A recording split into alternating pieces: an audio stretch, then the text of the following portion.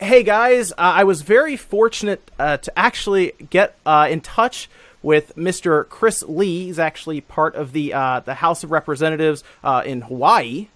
Mr. Lee, thank you so much for joining me today. There's a lot of questions people had for you, and I, I, I whittled it down to about six. So I think we'll, we'll have some uh, fun and see some more insight into what's currently going on with, I guess, gambling and stuff that, that is in, in gaming now. so, Mr. Lee, thank you for joining me. Yeah, thanks for having me. Yes, um, and uh, I, I, did pick a lot of these questions from you guys. I asked on the YouTube community page, and I asked on Twitter, and I had quite a few responses. So we're going to start uh, with the first one here, uh, Mr. Lee. The big question everyone wanted to know because they see you on their gaming websites is. Uh, are you familiar with gaming? Have you uh, played any games or anything in, in your history, I guess? Uh, are you playing any games now? That would seem to be the big one because they see you, obviously, on Polygon, on Kotaku, and stuff. Yeah, I uh, I go way back to my childhood and the earliest days of of um, uh, kind of modern gaming as we know it, modern console gaming and PC gaming, and I've played virtually every major title I think that everybody's appreciated over the years.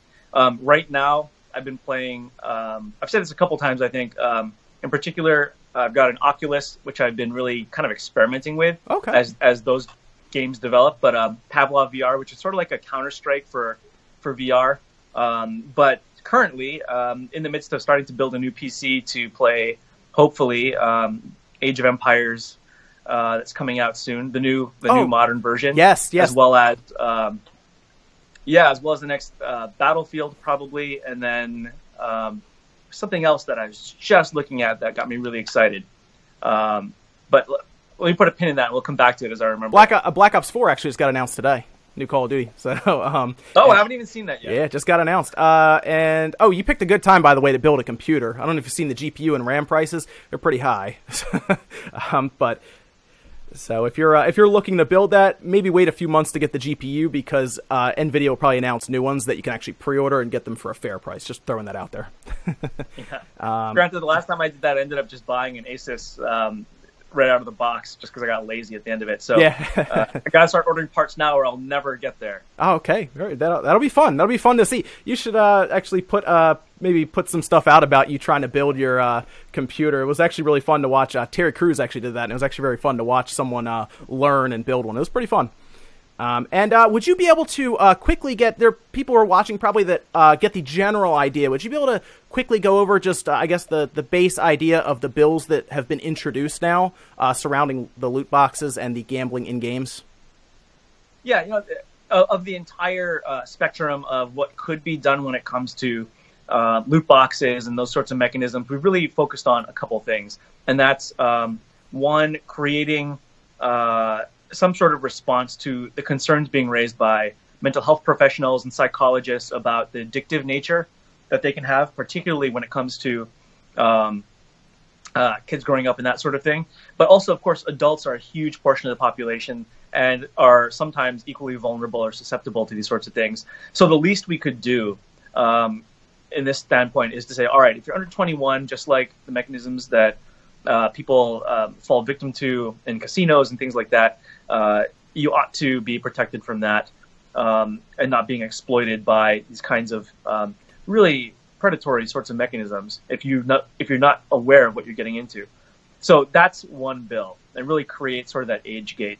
Uh, the second thing um, is what we think is absolutely the bare minimum, which should be um, put in place for everybody, is to create one disclosure that um, games contain loot boxes and, and those sorts of things, so that whether you're a gamer and you're looking for something to to sink your next uh, paycheck into, or you just are a parent and you have kids and you want that sort of transparency, so you know what is appropriate and what is not, uh, you can do that. The second thing, and this is the one that I think is probably um, one of the more critical pieces, is requiring um, drop rates to be disclosed. So Yes. if you're going to buy into uh, a loot box or some sort of variable reward mechanism, you at least know what the odds are of winning something for your money.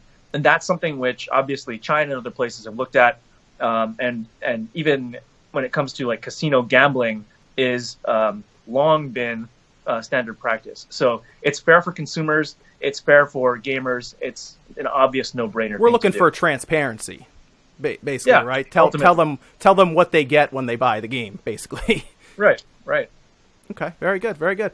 Um, and uh, now, have you uh, have you been on YouTube and seen some of the, I guess the uh, uh, how much there has been now talking about the bills that you've proposed and everything. Do you do you pay attention to YouTube and some of the bigger names? There are some really big names out there, uh, really pushing for this to all go into effect, and really, I guess, more or less calling out the bigger companies trying to uh, make money any way they can. It's people like the Jim Sterlings, the Total Biscuits, the uh, Ye. Actually, a big fan of him. He, I think he's very professional as much as he can be anyway. With this, are you aware of some of these bigger YouTubers that are kind of speaking out as well?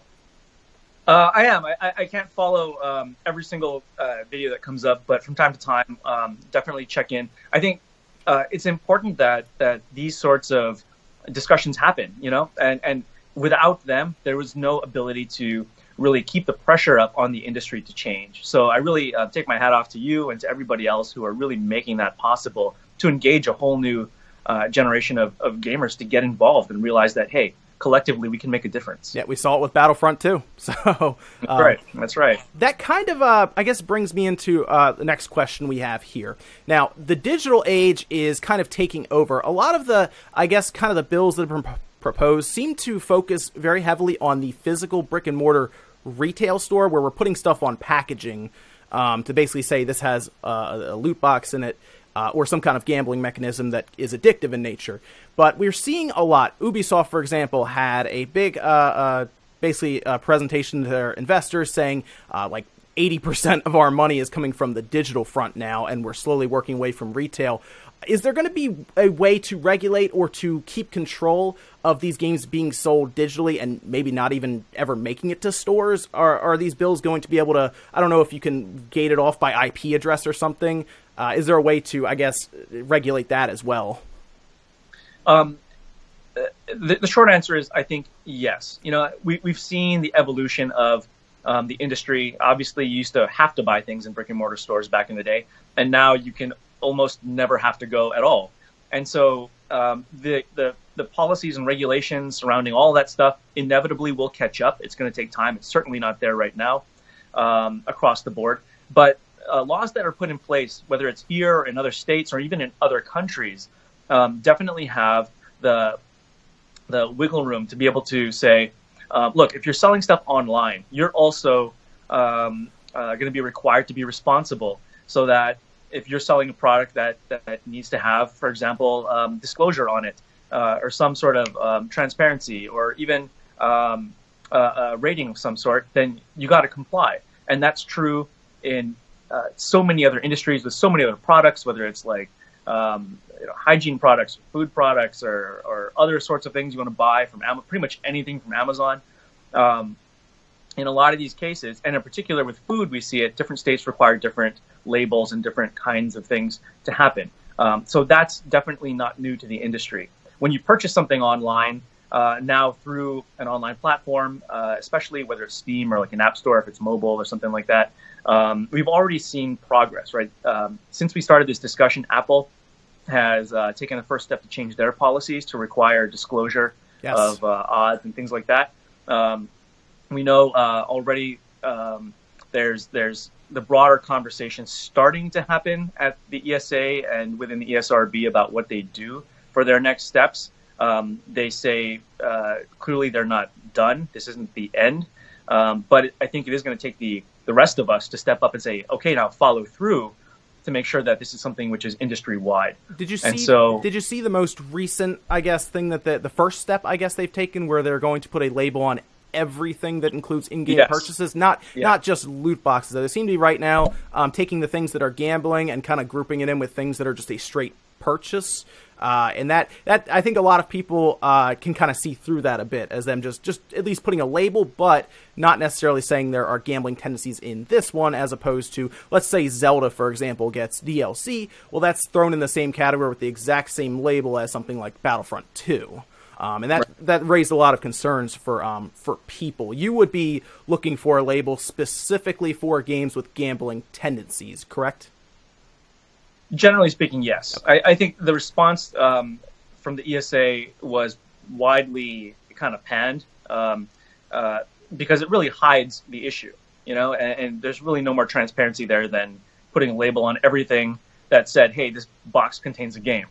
Like surprise, surprise. Yeah. Okay, so so I think the response from our colleagues is what's really interesting to watch because these are the folks in political circles who are watching uh, to see whether or not they need to take action based on what the industry is doing. And I think this was a missed opportunity for the industry to really actually do something meaningful, to respond to the community and to try and allay some of these concerns. And I think they clearly um, did not. So uh, there's definitely more to come that we're going to have to work on. Okay. And uh, so we know a lot of these companies, these are businesses that are trying to make money. Um, they seem to have found essentially a, a, a, golden goose with these loot boxes. What we're seeing with Battlefront 2 is very interesting. And this was probably the biggest question that was asked uh, in, on our community board, on YouTube, everything. What do we do about companies that release a game without loot boxes, and then later, because these are games as a service now, which is what they like to define it as, basically an ever changing game. It can be one thing now, and then through tons of updates or patches, can become a completely different game later. So I think the concern a lot of people bringing up, what if, uh, let's just, I'm just going to throw out something like a Battlefield. What if that comes out, no loot boxes when it comes out? It bypasses that label and then three months later it shows up and there is now a uh, a loot box in there. How would how would we go about kind of fixing that situation? Yeah, well, now that you're talking about Battlefield, you're starting to get close to my heart here. but uh, let's go with but, let's go with the so current situation for Battlefront. Then let's do that. um, but I think you you raise a good point, and this is something which we've heard from a lot of people about as well. And I think Battlefront's the perfect example, right? First, it was going to have something, then it didn't, and then now it will again.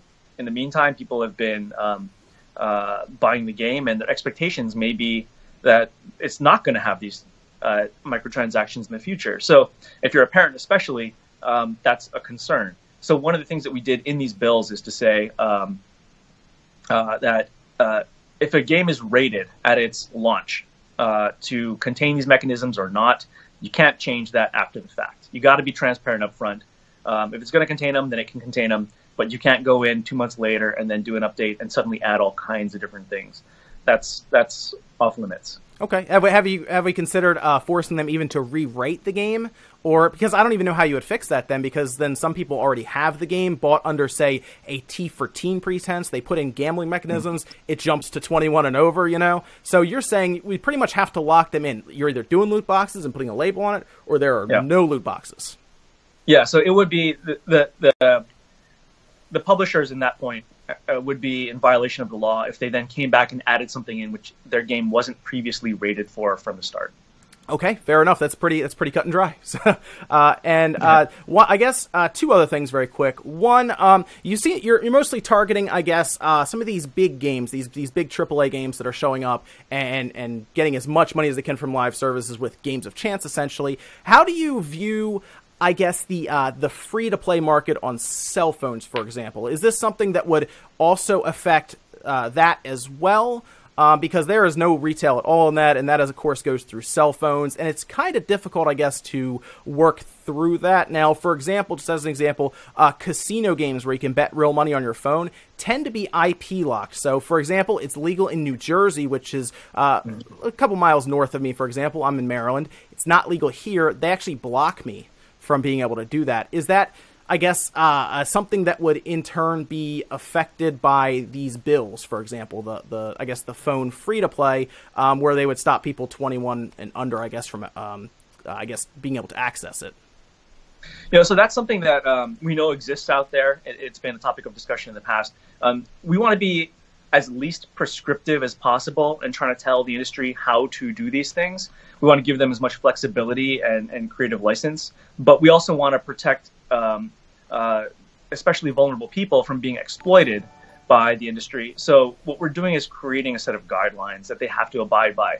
So they can create um, either geographic or other age gates um, as they see appropriate based on these laws, but they do have to comply and ensure that they reach the end goal that's something which has been enormously successful in other industries. and allows the industry basically to, for the most part, self regulate as long as it doesn't exploit people at the end of the day.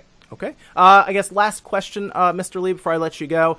Uh, it seems like there was a boiling point, almost where it, essentially everything exploded around Battlefront 2 to the point where they felt the need to pull back, and word is that Disney even got involved. Uh, was Battlefront 2 essentially the straw that broke the camel's back uh, for you? Even maybe you've been have you been observing this loot box situation, these games of chance built into games for a while now, and it seems like this was the time to really attack it. I guess it, it, because the ESA clearly the ESA is created to self-regulate, basically, so the government wouldn't have to.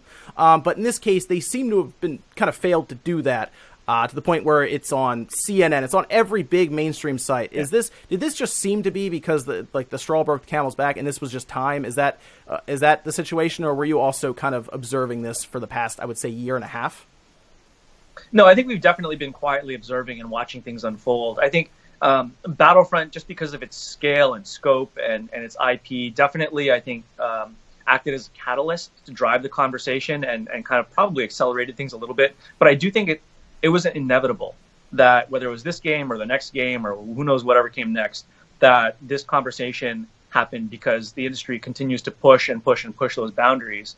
And the community continues to um, be on the receiving end of, unfortunately, a lot of the, the side effects of that to say nothing of the quality of the games that that don't seem to be up to uh, par. Sure. So, um, so I think we're now in a space where um, it was probably going to be this coming year that something uh, snapped um, but I think you're right. The Battlefield was probably the first big catalyst for it. Battle, yeah, Battlefront 2. Yeah, you got it. Yep. Um, yeah, Battlefront. Sorry. Yeah, don't want to don't want to throw Battlefield. Battlefield. Yeah, yeah. We'll see how that goes. I guess should be out this yeah. year. Um, but uh, Mr. Lee, I really appreciate you taking the time to uh, to to answer questions that people had and everything. You also have a, a YouTube channel that I guess you started up just for updates. You posted the ESA. Uh, interview there and everything, which was very fascinating to watch. I, I, don't think I've really ever seen lobbyists from the ESA show up um, and and really talk about these kind of things. That was fascinating to see. So I will leave a link to your channel down in the description. Everyone should go there, check it out, uh, become educated on these topics, start a discussion online, and uh, that way we can come to some sort of solution, hopefully in the near future. Um, where everyone can essentially win, whether it's the companies being able to make money to stay in business, make more games, and the people get the full experience, or at least a very transparent experience going forward. Um, so absolutely, I appreciate that's, it, Mr. That's Lee. what we want. We want a better industry. yes. So thanks for having me. Absolutely, uh, guys. Thank you so much for watching. Make sure you check out uh, Mr. Lee's channel. It's down in the description, and I will see you guys next time.